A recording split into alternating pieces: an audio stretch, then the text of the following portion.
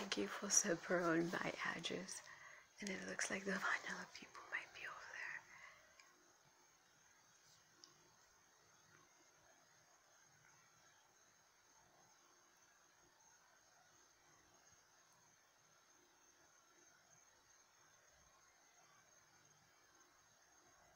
there. It looks like Carlos.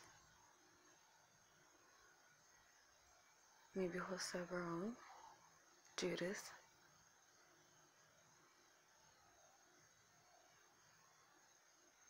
The say ones from the case number.